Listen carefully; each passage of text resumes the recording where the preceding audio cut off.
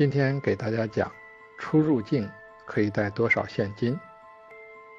这是我们美国留学访学生活攻略第一部分。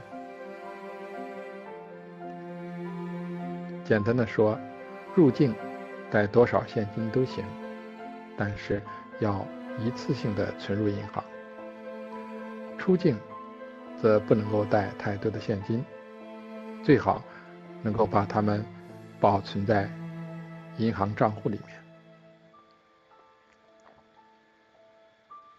入境带多少现金都是可以的，只要符合中国的规定，并且在入境的时候如实申报。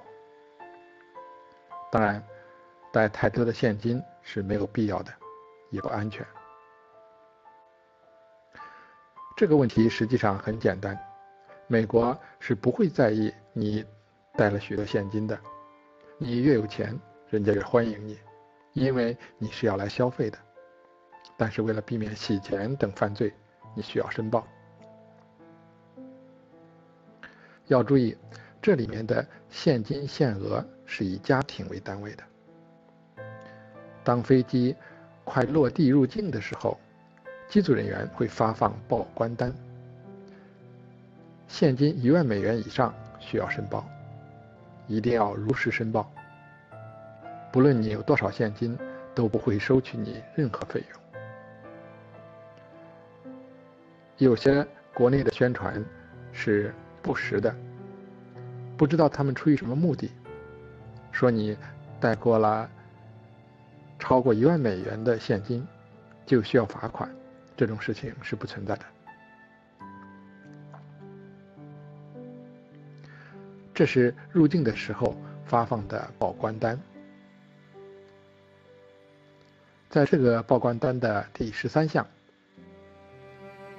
上面说，如果你携带了超过一万美元或等值的美元或其他货币，那么都是需要申报的。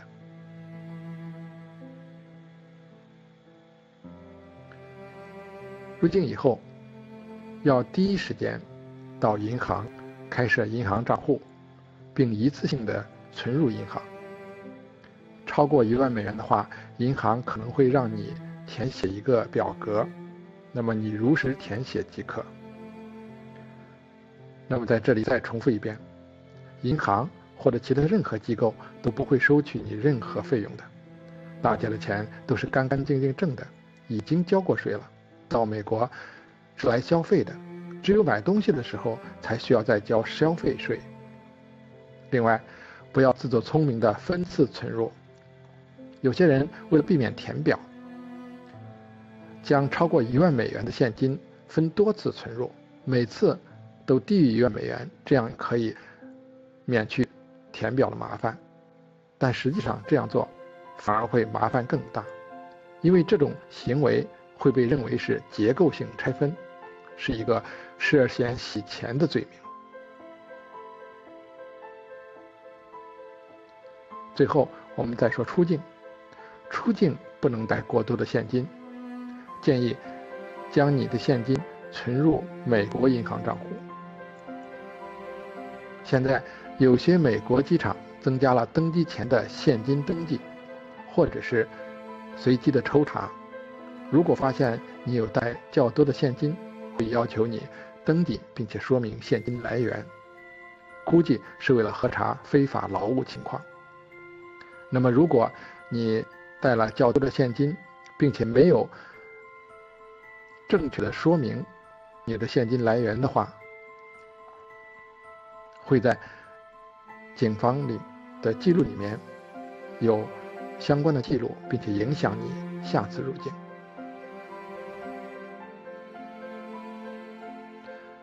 那么刚才所说的，我们要尽量的将现金存入银行账户。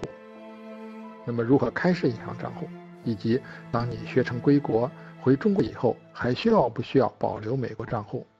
请参阅频道的其他节目。谢谢支持。本频道所有攻略都来自亲身经验。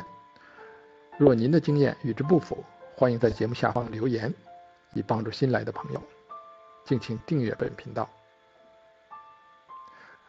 在我做呃这个小视频的时候，新冠病毒肺炎正在全世界爆发，特为所有众生的祈祷，愿大家都能够远离一切忧恼病苦，杜绝传染伤害，得色力寿命健康吉祥如意。